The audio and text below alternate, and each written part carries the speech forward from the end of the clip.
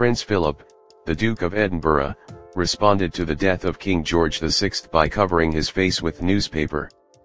The news meant Philip's wife was no longer Princess Elizabeth, the Duchess of Edinburgh but Queen Elizabeth II. The couple were visiting Kenya on a royal trip, as it was then part of the British Empire. Lady Pamela Hicks told her daughter on the India Hicks podcast, Philip just takes the newspaper and covers his face with it, hides behind it and says this will be such a shock. As she comes into the room, I think oh, poor girl, her father died. So I go over to her, give her a hug and think oh my god, it's the queen so I go into a deep curtsy and she says I'm so sorry, it means we've all got to go back, she was only thinking of all of us. Pamela also claimed Philip would have taken command as the professional head of the Royal Navy if he was not elevated to Prince Consort.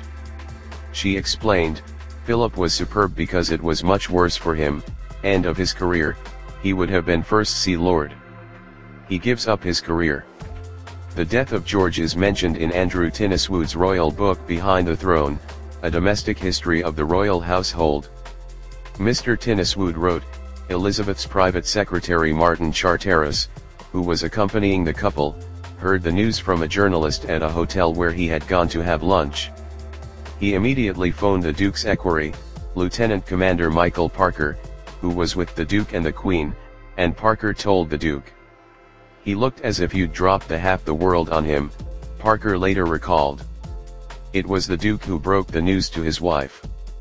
When Charteris arrived 15 minutes later at the Sagana Royal Lodge, where they were staying, he found the 25-year-old queen very composed he said, the absolute master of her fate. Philip's own life might have been very different if it were not for George's father King George V.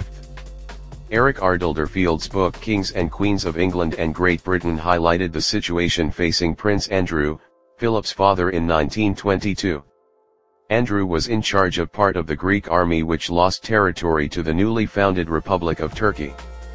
Mr. Delderfield explained, in 1922, after Greek disaster in Asia Minor at the hands of the Turks, the Greek ministers in his office were executed, Prince Andrew, who had commanded the right wing of the Greek army, was awaiting trial with the certainty of death penalty following. Six of Andrew's since co-defendants were executed, this included two former Greek prime ministers and an army chief. Mr. Delderfield wrote, George V sent an ambassador to Athens and secured his release. Andrew's wife Princess Alice of Battenberg was believed by some to be under surveillance from the authorities. The British government eventually sent HMS Calypso to evacuate the family, including a one-year-old Philip. They had to travel under Danish passports after Athens stripped them of their citizenship. Philip renounced his Greek and Danish titles in order to marry the Queen. The Duke's family background also involves German ancestry and he once said, if anything I've thought of myself as Scandinavian. Particularly, Danish. We spoke English at home. The others learned Greek. I could understand a certain amount of it. But then the conversation would go into French. Then it went into German, on occasion, because we had German cousins. If you couldn't think of a word in one language, you tended to go off in another.